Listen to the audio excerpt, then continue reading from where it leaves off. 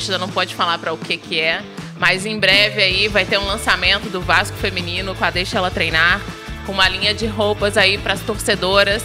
A gente sabe que é 40% da torcida do Vasco, né?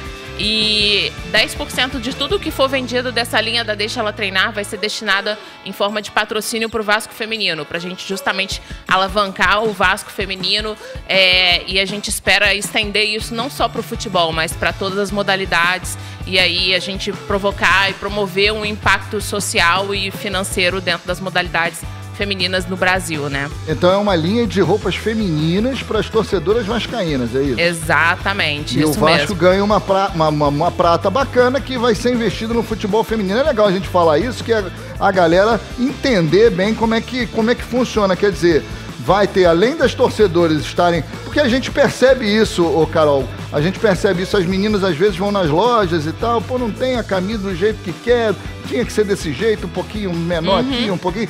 Tem essa dificuldade e agora vocês estão resolvendo esse problema e, e além disso, ainda vão é, é, incentivar o futebol, estimular ali com, com patrocínio, né? Com uma que, cota. Que tem dois pontos bem importantes de serem ditos, né? Quando eu comecei a estudar mais sobre a situação do Vasco, eu acho que, como qualquer negócio, a gente tem que olhar que você precisa, obviamente, cuidar das finanças para que você possa né, não ter tantas dívidas, que você consiga pagar com as suas obrigações, mas você tem que trazer receita.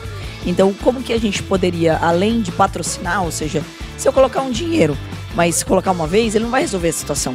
Então, como a gente pode trazer recorrência com produtos, com coisas que as pessoas querem consumir também? Porque você não vai ficar saindo e passando literalmente chapéu, né? Então, ou seja, você tem que vender coisas que as pessoas querem usar.